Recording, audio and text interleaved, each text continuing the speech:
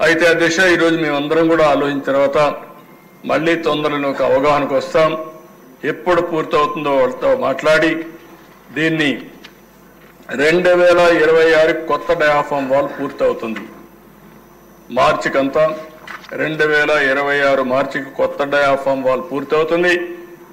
ECRF dam gap one ఫిబ్రవరి రెండు వందల ఇరవై ఆరుకు పూర్తవుతుంది. ECRF dam two gap December ఇరవై ఏడుకు పూర్తవుతుంది.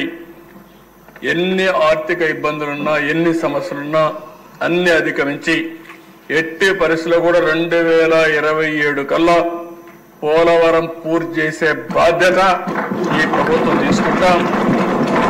అటు ఇటు కాదన్నా జూన్ కాకపోతే ఇంకో రెండు మూడు నెలల్లో ఎట్టి పరిస్థితుల్లో మీరందరూ గర్వంగా ప్రజల దగ్గరికి పోయి చెప్పుకునే విధంగా ఈ ప్రాజెక్ట్ పూర్తి చేసే బాధ్యత ఈ ప్రభుత్వం తీసుకుంటుందని చెప్పి కూడా నేను మీకు తెలియజేస్తున్నా.